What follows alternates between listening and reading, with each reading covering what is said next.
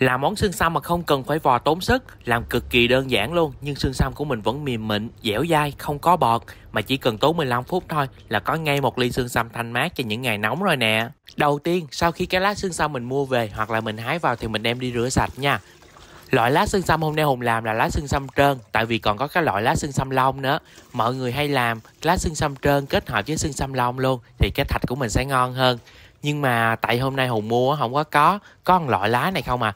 Mua về mình rửa kỹ qua nhiều nước để cho loại bỏ hết bụi bẩn và rửa qua nước muối loãng đó nha để cho nó an toàn hơn nè. Chứ ở ngoài á, làm thì nó không biết làm sao. Ở nhà mình làm thì hơi kỹ một xíu nha. Sau khi mà lá xương xăm mình rửa sạch để ráo rồi thì bây giờ tiếp theo cái bước dành cho những bạn thích ăn xương xăm nhưng làm biến vò giống như tôi nè. Thì mình sử dụng cối xay thôi mình cho 100g lá xương xăm vào cối cho thêm 500ml nước nữa và cho 1 phần 2 muỗng cà phê dầu ăn vào. Không có dầu ăn, mình sử dụng dầu ô liu. Nhà hùng á, xài dầu dừa, thì hùng sẽ sử dụng 1 phần 2 muỗng cà phê dầu dừa nè. Vì dầu dừa nguyên chất nhà mẹ hùng tự làm á, nên ai cần thì nhắn hùng nha. Và các bạn xay ở mức chế độ nhỏ nha. Xay nhanh tầm khoảng 20 giây 30 giây thì các bạn đem ra rây lọc nè.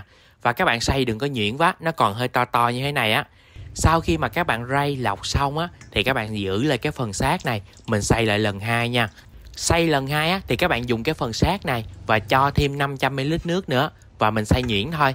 Vậy túm lại á, 100g lá xương sâm mình sẽ sử dụng 1 lít nước và mình tách ra mình xay hai lần. Lần đầu tiên là 500ml nước cùng với 1 phần 2 muỗng cà phê dầu. Sau đó thì mình chắc lọc và tiếp tục xay nhanh lại lần hai để cái phần xương xăm lần một nó chưa kịp đông á thì cái lần hai mình cho vào thì nó hòa quyện lại với nhau nha.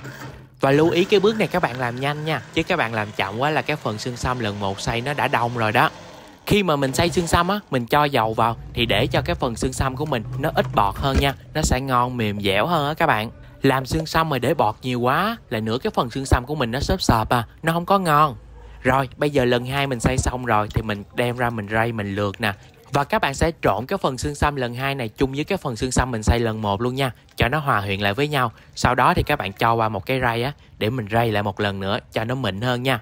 Rồi, bước tiếp theo là bây giờ các bạn có chén tô, dĩa, khuôn, hộp gì đó, thì mình cứ cho vào và mình định hình cái phần xương xăm của mình để cho nó đông lại nha các bạn. Bước này làm nhanh xíu nha, tại vì nó gần đông lại rồi đó. Rồi, bây giờ cho vô chén nè. Và cái phần xương xăm này các bạn để tầm khoảng một tiếng là nó đông lại rồi và để ngăn mát tủ lạnh đem ra nè. Xương xăm của mình mịn nha chứ không có bị bọt nhiều nè không có xốp sợp gì hết á. Nhìn cũng mướt rượt ok quá trời luôn nè. Mà có nhiều bạn nói á, là cái cách làm xương xăm này nó sẽ không ngon bằng cái cách vò tay. Thì đúng rồi tại vì làm biến ít có làm xiên quá mà nên mới làm cái cách này cho nó nhanh. Nhưng mà hùng thấy cũng ổn lắm á. Hôm nào rảnh á các bạn làm thử đi. Chứ thật tình là xương xăm á ăn thì rất là mau nhưng mà ngồi dò đau lưng thiệt luôn á. Nên thôi áp dụng cái cách này đi ha giữa trời chưa nóng mà có ngay một cái ly xương xăm một é uống, nó đã.